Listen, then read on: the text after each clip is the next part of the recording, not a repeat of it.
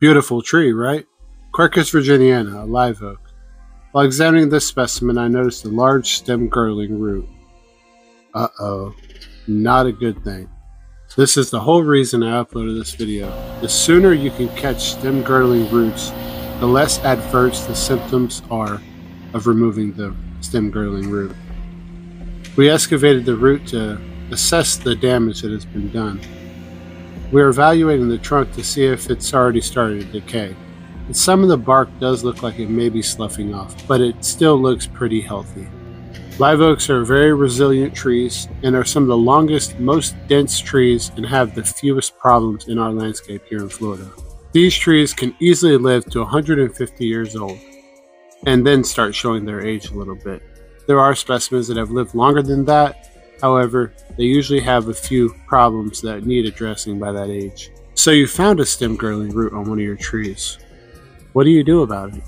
Well, in many of the cases, you can do a root extraction. We're going to do a root extraction on this. However, it is a very large root. We weren't sure about the total effects of root flare excavation and extraction of this large stem girdling root would cause. But the lady really likes her tree and she wants to see the tree go on for another hundred years. This stem girdling root would not allow this tree to live healthily for another hundred years. There may still be some negative side effects to removing stem girdling roots. You can have some crown dieback or small dead branches. However, if all goes well, the tree should recover and continue to grow and allow the tree to expand in girth at the base where it needs to to be stable and to allow the transport of nutrients up through the tree. The stem girdling root removal process is a little tricky. In many cases, you can use a reciprocating saw. Sometimes they're a lot more precise.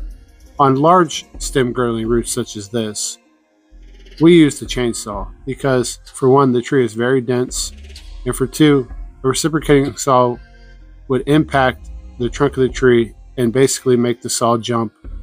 And I'm fairly good with a chainsaw, so I felt more confident in just using the chainsaw to remove this stem girdling root.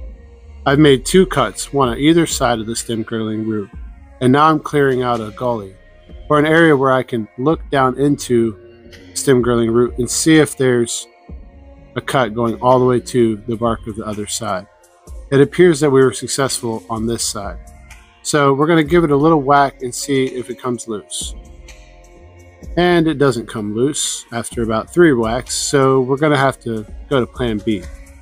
We're going to go ahead and do a little more excavation on the right cut so we can be sure that we've reached all the way through to the bark of the trunk of the tree. Now you may nick the bark of the tree, and that's okay. A small bit of damage to the trunk of the tree is kind of like the same thing as going to the doctor and getting a shot to prevent a much larger issue. Doing nothing could cost you your life. However, doing this may cost you a little band aid when you leave the doctor, but your body will naturally heal, and so will the live oak. It's very resilient and very low likelihood of root decline, root decay, or other fungal problems that would decay the tree. So this tree should still be sound even if we nick it a little bit. Now the next cut was a pretty tricky one because this stem girdling root was kind of like a sailboat in a bottle where the root was encompassed by parts of the stem, it wouldn't come out. We had to alleviate the pressure, and the only way to do that would be to make a horizontal cut so the wood would compress against itself, kind of like if Pac Man closed his mouth, it would make Pac Man smaller. We used that method, and then we just gave it one good whack with the hammer, and it just came right apart. So now the stem girdling root is removed. Hopefully, this tree will recover fast, like you do when you get a shot at the doctor. If you like trees and the natural world, you should subscribe. We'll see you next time.